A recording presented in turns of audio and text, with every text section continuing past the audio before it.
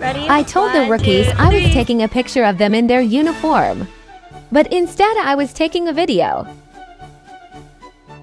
I wanted to see how long they would stand there for. So I just didn't say anything. Most of them eventually caught on. Bruh, take the piss. Yeah. That's part of the video. I said that has to be it.